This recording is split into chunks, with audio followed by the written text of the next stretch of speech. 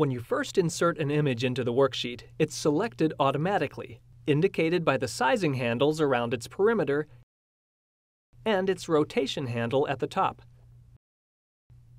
While a clipart image or a picture is selected, you can make changes to it. You can move the clipart image or imported picture to a new location in the chart by dragging it. Resize it by dragging the appropriate sizing handle rotate the clipart image or imported picture by dragging its rotation handle. Or delete it by pressing the Delete key. When an inserted picture is selected in the worksheet, Excel adds the Picture Tools contextual tab to the ribbon with its sole Format tab.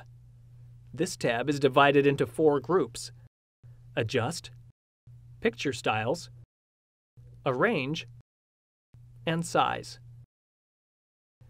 The Adjust group contains some important command buttons. Remove Background opens the Background Removal tab and makes a best guess about what parts of the picture to remove.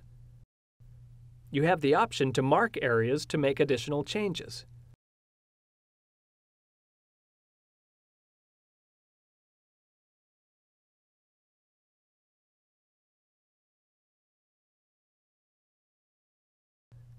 Click Keep Changes when you are finished, or discard all changes to revert back to the original picture.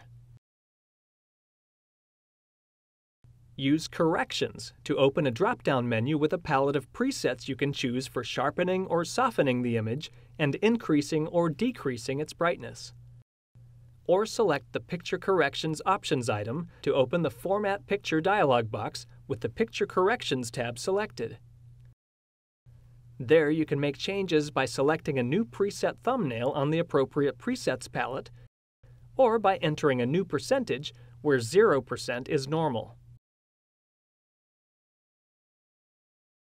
Click Color to open a drop-down menu with a palette of color saturation, color tone, or recolor presets you can apply to the image. Set a transparent color or select the Picture Color Options item to open the Picture Color tab of the Format Picture dialog box, where you can also make adjustments. Artistic Effects opens a drop-down menu with special effect presets you can apply. You can also compress the image to make it more compact and your workbook a somewhat smaller file. You can change pictures or reset them and remove all formatting changes. To deselect the clipart image and set it in the worksheet, click anywhere in the worksheet outside the image.